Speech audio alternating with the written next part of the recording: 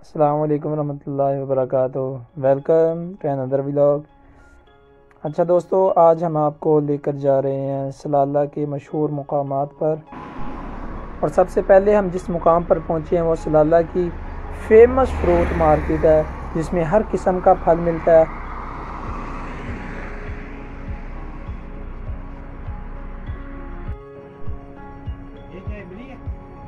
और शुक्र है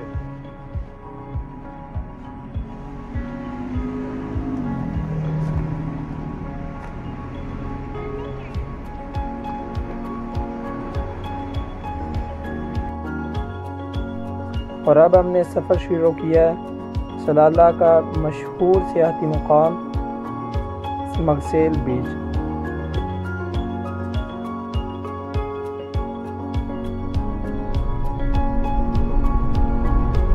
और यहाँ पर ठंडी हवाओं का सिलसिला शुरू हो गया।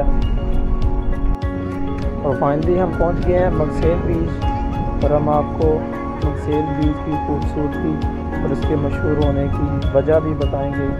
आइए हमारे साथ रहिए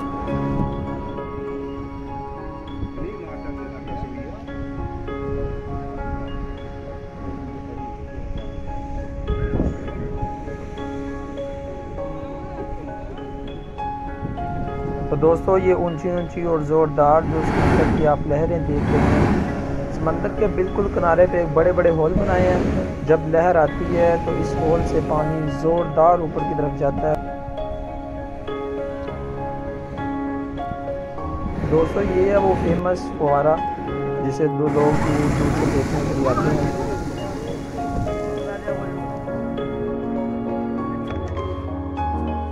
और ये समंदर के किनारे मोतियों की तरह पानी बाहर की तरफ़ आता है और खूबसूरत रेत सफ़ेद सफ़ेद रेत और ये हमारे साथ, हमारे मामू।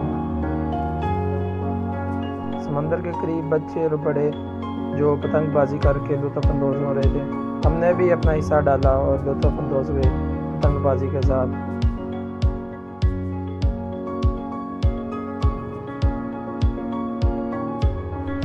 और मकसेल बीच से वापसी का हमने सफ़र लिया और अब हम जा रहे हैं वादी दरबार।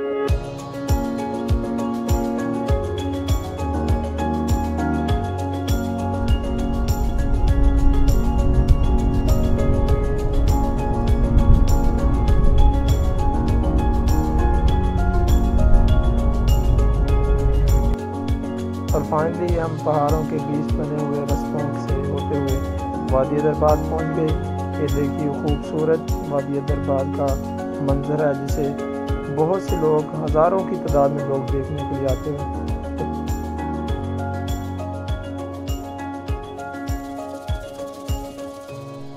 और अब हम आ गए हैं एन बाज़ार, और इसके अंदर ये खूबसूरत तालाब है। तालाब के अंदर मछलियाँ और इसकी एक और बहुत सी खूबसूरती जो लोग दूर दराज से देखने आते हैं कि इसमें एक गार है और गार की एक तरफ़ से लोग दाखिल होते हैं, दूसरी तरफ़ से निकल आते हैं, जो लोगों की तवज्जो का मरकज़ बन रहते हैं। ये सामने गार है, एक तरफ़ से लोग दाखिल होते हैं, दूसरी तरफ़ से बाहर निकल आते हैं।